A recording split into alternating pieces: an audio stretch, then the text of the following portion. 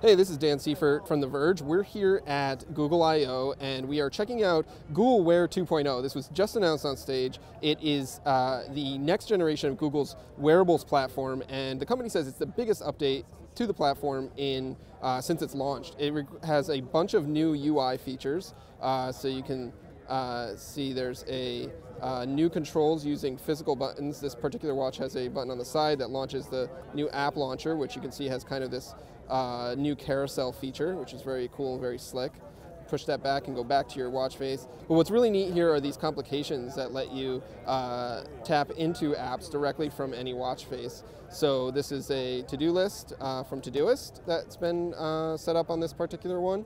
You can add tasks, you can add your uh, water intake for other apps as well, um, and a bunch of different things that developers will be able to plug into and add more complications. It's pretty similar to what Apple is doing in the Apple Watch, but it's cool to see this uh, in both third-party watch faces and with third-party apps.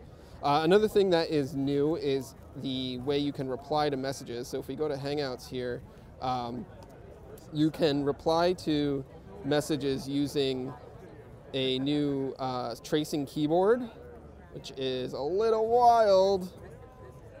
There's a, a full keyboard on the there, uh, as well as a new handwriting uh, recognition thing, so you can write words on your uh, on the screen there with your finger and send it away. Uh, that's different from the uh, emoji recognition system that's been there before. So those are both new. And you can have a back button to go back as well. Overall, on this particular watch, this is the uh, LG Watch Urbane LTE, which means that it has a bunch of settings that you might not find on a Wi-Fi only watch. You can uh, use this watch without your phone connected, and there's a bunch of new things for that. But the UI is actually pretty slick and pretty quick. It's much more responsive than I'm used to on the Android Wear watch that I wear every day.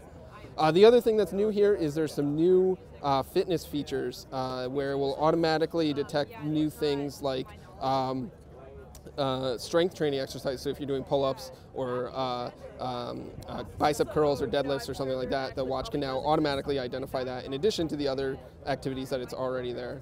Uh, Google says that Android Wear 2.0 will be available later this year, but if you're a developer, you should be able to start downloading it today and get it running on your watches already.